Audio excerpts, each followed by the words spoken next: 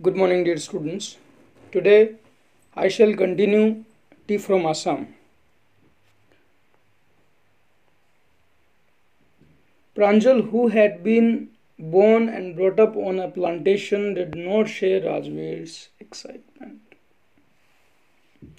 When Rajvir saw tea plantations for the first time, he became excited.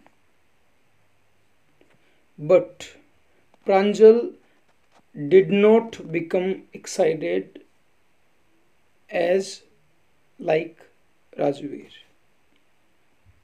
Because Pranjal had been born and brought up on a tea plantation. So he was used to of these plantations. It was not new for him. Oh, this is a tea country now. This is a tea plantation now, he said. Assam has the largest concentration of plantation in the world. The fact is, Assam is the largest concentration of tea plantation in the world. And a person can see enough gardens to last you a lifetime to continue a lifetime. I have been reading as much as I could about tea, Rajveer said.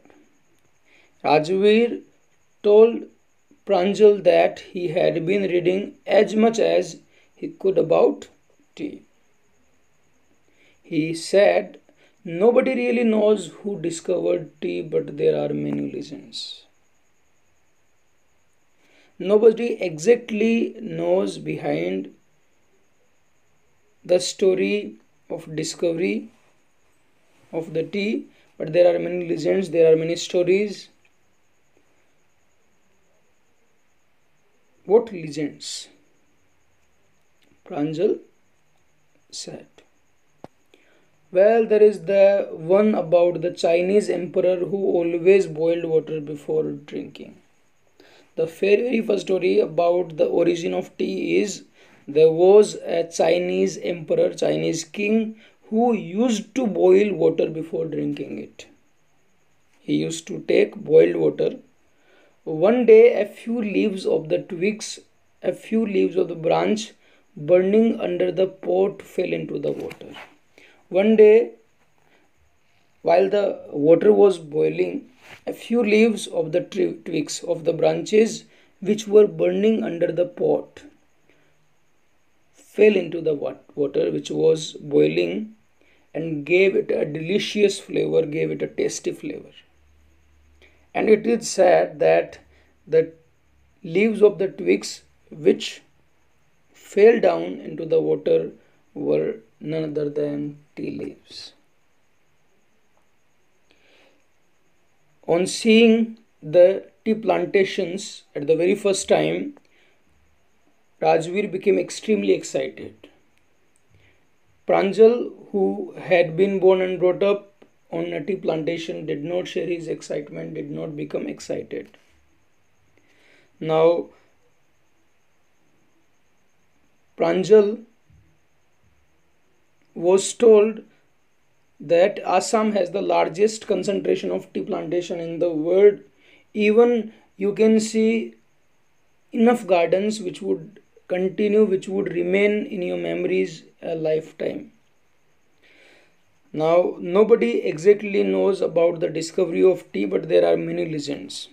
The very first legend is a Chinese emperor used to drink water after boiling it. One day, some of the leaves of the twigs of the branches which were burning under the pot fell into the boiling water and made the water delicious. It is said that the leaves which fell down into the water were tea leaves. Now let's move ahead. Tell me another scoffed Pranjal. Making fun of Rajveer, Pranjal said, Tell me the another story about the origin of tea.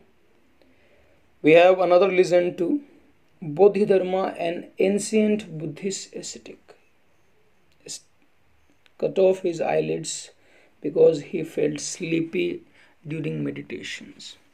The another story is an ancient, an old Buddhist saint named Bodhidharma cut off his eyelids. The reason he felt sleepy during meditation. When Bodhidharma was meditating, he felt sleepy, so he just cut off his eyelids. Ten tea plantation grew out of the eyelids. Eyelids cut off by Bodhidharma grew out into 10 tea plants. The leaves of these plants when put in hot water. The leaves of these 10 plants when were put in hot water and drunk, Beneath sleep, exhale sleep. Tea was first drunk in China. It is said that tea was first drunk in China, Rajveer added. As far back as 2700 BC. It was first drunk in 2700 BC. In fact, actually, words such as tea, chai, chini are from Chinese language. Tea came to Europe only in 16th century and was drunk more as a medicine than a than as a beverage than as a drink. It is said that tea was first drunk in China in 20, 2700 BC and the words chai, chini, tea are from Chinese language. Tea came to Europe in 16th century and people drink it more than more as a medicine than a beverage or than a drink. The train clattered into Mariani Junction. The train making rattling sound stopped at Mariani Junction. The two boys, Pranjal and Rajveer, collected their luggage. They collected their luggage and pushed hmm. their way to the crowded platform and started walking to the crowded platform. Pranjal's parents were waiting for them. Soon they were driving towards Dhekiabari, the tea garden managed by Pranjal's father. Now they, Pranjal, Rajveer and Pranjal's parents started driving towards Dhekiabari. Dhekiabari is the tea garden which was managed by Pranjal's father. An hour later, the car veered, the car turned sharply off the main road. The car sharply turned off the main road. They crossed a cattle bridge and entered the Khibadi tea estate. After crossing a cattle bridge, they entered the Khibadi tea estate managed by Pranjal's father on both sides of the gravel road. The road was made of gravel. On both the sides of the road were acres upon acres tea buses. All the tea buses were neatly, very cleanly pruned, trimmed to the same height. All the buses were neatly trimmed to the same height Group of tea pluckers with bamboo basket on their backs wearing plastic aprons were plucking the newly sprouted leaves. Groups of tea pluckers. Those who pluck tea leaves are termed as tea pluckers. So group of such people who had bamboo baskets on their base backs wearing plastic aprons were plucking the newly sprouted leaves of teas. Pranjal's father slowed down to allow a tractor pulling a trailer load of tea leaves to pass. A tractor which was pulling a trailer load of tea leaves was allowed by Pranjal's father by slowing down the speed of the car. Pranjal's father slowed down the speed of his car so that a tractor pulling a trailer load of tea leaves can pass. This is the second flush or second sprouting period, isn't it, Mr. Barua? Rajveer asked. Rajveer said to Pranjal's father, Mr. Barua, that this is this is the second flush or sprouting period.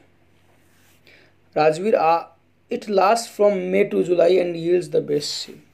This sprouting period lasts continues from May to July and yields and yield gives the best tea. Yeah, you seem to have done your homework before coming, Pranjal's father answered in surprise. On hearing Rajveer with such wonderful description, Pranjal's father became surprised and he said that he said, "You look, you look like you seem to have you done your homework before coming here on Tipra." Yes, Mr. Barua, Rajveer admitted. Rajveer accepted, but I hope to learn much more while I'm here. While I'm here, I learn a lot of things here. In this chapter, we had an informative account of tea where we talked about the origin of tea, the legends about the origin of tea, sprouting season of tea, and Assam, the which has the largest concentration of tea plantations in the world and had a lot of information about tea plantations.